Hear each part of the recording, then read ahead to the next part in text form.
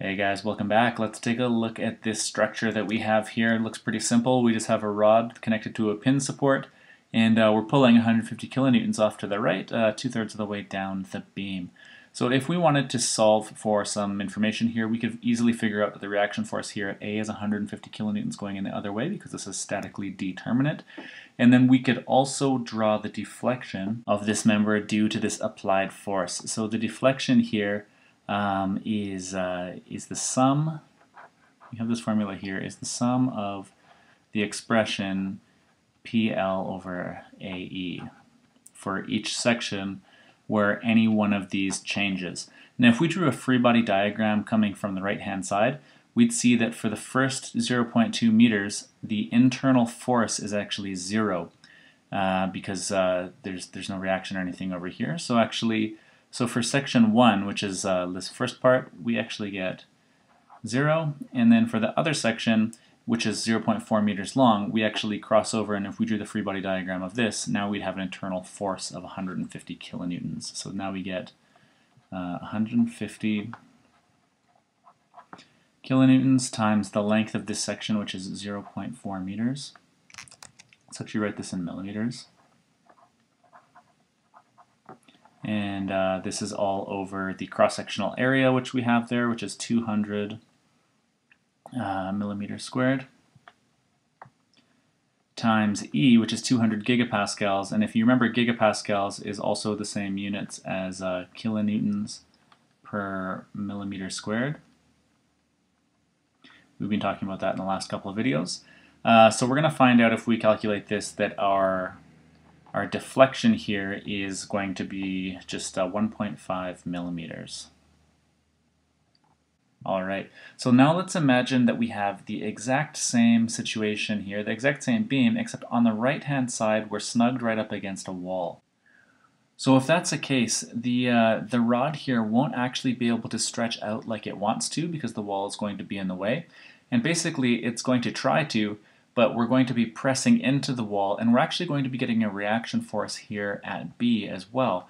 So our force balance in the in the x direction now becomes uh, it becomes RA, so the react the horizontal reaction at A plus uh, the 150 kilonewtons, this is our applied force, plus the horizontal reaction at B, and that all has to be equal to zero. And uh, you'll notice that we actually have too many unknowns here to be able to solve this just using the equations of statics alone. And uh, now this is, is a statically indeterminate problem. But we can solve statically indeterminate problems using our knowledge of uh, the, the deformations that materials undergo on certain loading conditions. So where we have this statically indeterminate problem here where the wall is in place, we know that if we removed the wall that uh, that the rod would want to elongate or deform by 1.5 millimeters.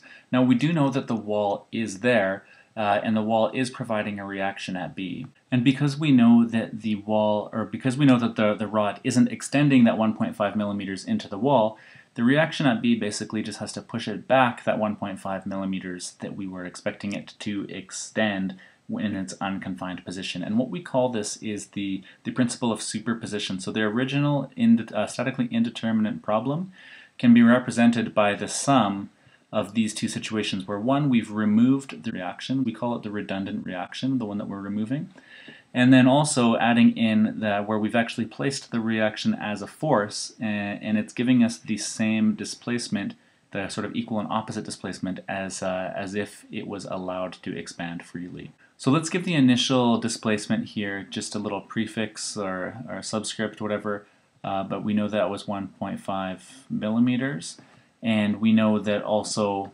the displacement here, uh, due to the reaction at B, also has to be 1.5 millimeters because in real life this uh, this rod actually actually has to end here at point B and be the same initial length as it's uh, as it initially started with. So knowing that the initial deformation we'll call it di, uh, has to be equal to the deformation caused in this situation by the reaction here, so we call that dr, or delta, I guess, delta i and delta r.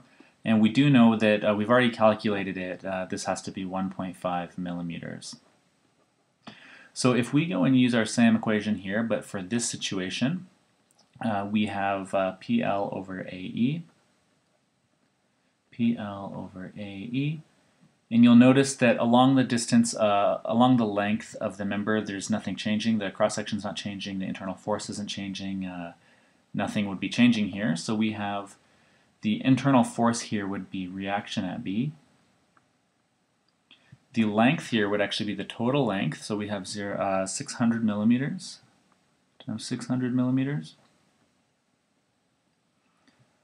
And this is all over the cross-sectional area, which is 200 millimeters squared. And, times the, uh, uh, the modulus of elasticity here. So we have 200 gigapascals, which is also the same thing again as kilonewtons per millimeter squared. Now if we just solve for RB, we have 1.5 millimeters times 200 times 200 divided by 600 uh, we're going to get RB here in units of kilonewtons, and uh, this turns out to be 100 kilonewtons. This is the reaction force at B, and it would be pointing that way. Now, according to our sum of forces here, then uh, obviously uh, the reaction at A, the horizontal reaction at A, would have to be 50 kilonewtons, also pressing in the leftward direction. Now it's no coincidence actually that these numbers are so round and this is two-thirds of the, uh, this reaction force is two-thirds of the total applied force and this one is one-third. When you see the dimensions here are also one-third and two-thirds. Uh, that is a that's a result of, of this system, of, of this member being uh, being symmetrical and, and uniform across its length. And so the, the forces here are actually proportional. If we if we brought our applied force closer to A, then uh, the reaction here at A actually would be increasing and the reaction at B would be decreasing. And the reason for that would actually be that we'd be getting less elongation and, uh, and less that we have to account for over at B. Um, so that's an introduction to the method of superposition and your first, uh, this might be your first uh, uh, time seeing an statically indeterminate problem. Uh, but they're not always this easy, so join me in the next video and we will do a very similar problem, but one that has a uh, cross-sectional area that is varying and is, is, is not uniform along the length of the member.